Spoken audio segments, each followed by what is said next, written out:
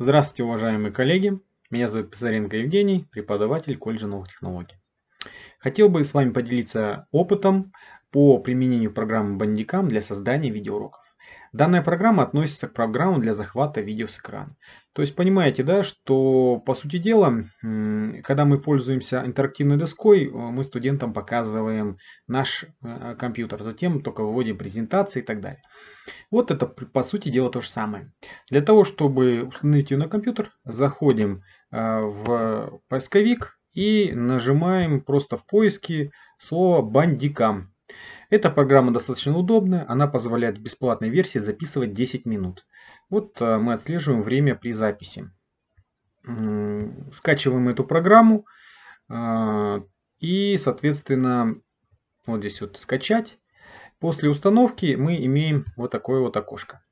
Здесь в первую очередь необходимо включить микрофон, чтобы происходила запись, мышка, курсор, чтобы появился, и вот этот, э, этот программу здесь мы можем включить, либо выключить вот это вот окошко. А, его можно отключить, чтобы его не было, но очень удобно на начало урока его включать, чтобы студенты понимали, что они ваш именно видеоурок отслеживают. Итак, затем, после того, как мы произвели настройки, а, готовим презентацию. Презентации готовятся, я готовлю презентации сначала, закидываю туда различные картинки, э, их делаю для них анимацию, то есть вот наши картинки, которые с помощью вкладки анимации можно будет расставить по порядку. То есть какая-то будет выходить э, следующую картинку, анимацию, формулу, текста, все расставляем по порядку. Здесь вот можно очередность, используя вот эти вот кнопочки, изменять, какая-то вперед, назад переключить. В результате э, можно получить э, соответствующий видеоролик, имея различные, скажем так, видеоэффекты. А, для того, чтобы удобно было управлять, особенно в частности работая в презентации, а, сначала следует открыть полностью презентацию на весь экран кнопкой F5, а затем нажимаем кнопку F12. Напомню, что это за кнопки. Вот в данном случае мы здесь имеем кнопку F12 на клавиатуре. А, данная клавиатуру вот, при нажатии данной кнопки у нас начинается запись. Также, если еще раз нажать, запись остановится. Если э, предварительно нажать кнопку Shift и удерживая еще раз нажать кнопку F12, мы э, включим паузу. В этот момент времени можно э, во время паузы переключиться, например, на, на видео. Да, то есть открыть, э, скажем так, э, какое-либо видео эм, на, этом, на канале YouTube и его включить э, в режиме записи и наложить на этом при этом свою, свою речь, свое объяснение. В результате мы получим одним дублем сначала объяснение темы на самом ну, в нашей лекции и затем пояснение какого-то э, видеоролика, э, как это происходит, например, э, поясняем какой-то режим работы. При этом необходимо сначала включить полный экран, запустить, сейчас у меня немножко не грузится, ну, надеюсь, вы поняли, включаем полный экран, запускаем запускаем видео, затем повторяем Shift и, соответственно, начинается запись, и на нее мы наговариваем. В данном случае это вот наш боевой робот в 2017 году занял первое место. Итак, Итак, э, значит, э, мы с вами вернулись опять на презентацию. И смотрите, после того, как мы сделали презентацию, мы ее запускаем, начинаем запись, а, накладываем свой, а, свой голос. После того, как а, время, например, если вы не успеваете уложиться в 10 минут, то есть такая возможность обрезать. Данная программа имеет функции, такую программу Bandicoot.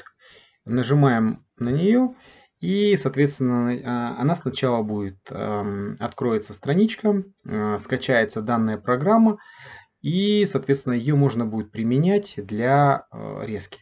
Кстати, не сказал, не сказал одну вещь, то, что видеоролик, в принципе, если кому-то очень долго не хватает времени создавать в презентации, можно применять даже, скажем так, используя какие-то видео, ну, скажем так, учебники, э, используя паузу, мы можем начать урок, например, э, с какого-то приветствия, объяснения темы, а затем во время объяснения темы можем остановить, включить книжку Э, и на основании учебника произвести объяснение темы. Ну вот, например, тема датчики тонации устройства мы открыли, здесь э, пояснили на рисунке, э, сделали пометки, то есть вот здесь имеется возможность нажатия на, на карандашик, у нас открывается такая панель и в ней можем сделать какие-то пометки.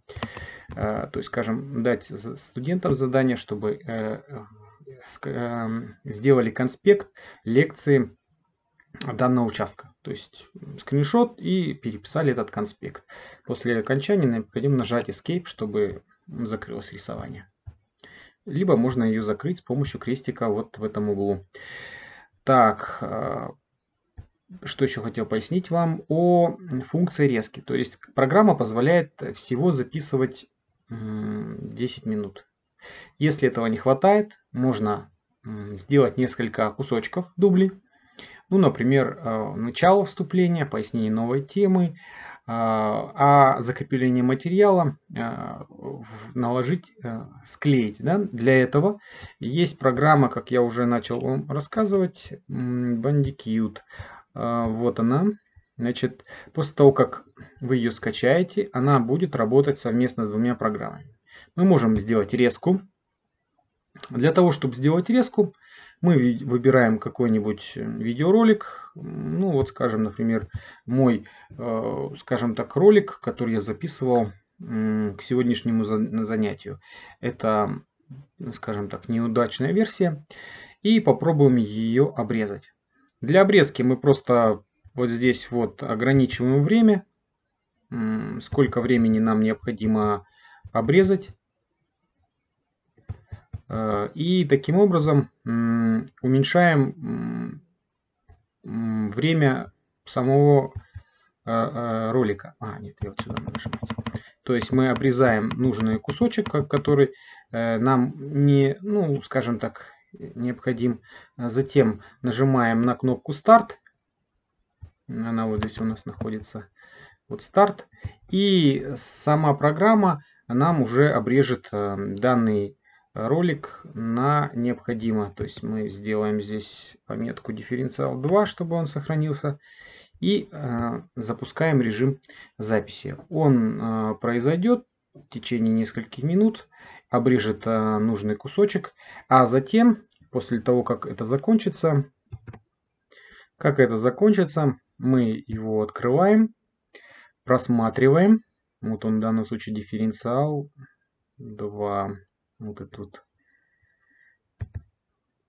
Мы его можем просмотреть, убедиться, что здесь эм, а, сохранился, сохранился звук, э, видео. Ну, в данном случае звук идет. Итак, после того, как мы обрезали, мы пробуем соединить. Вот у нас кнопка «Соединить». Открываем файл. В данном случае это, вот, который мы попробовали дифференциал 1.12, а, вот этот вот. Теперь мы добавляем еще один файл. Ну, скажем, вот мы хотим добавить еще один кусочек. Теперь просматриваем. Просматриваем сам ролик. Э, и мы можем увидеть, что вот по переход, вот он у нас пошел э, следующий кусочек. Посмотрим переход.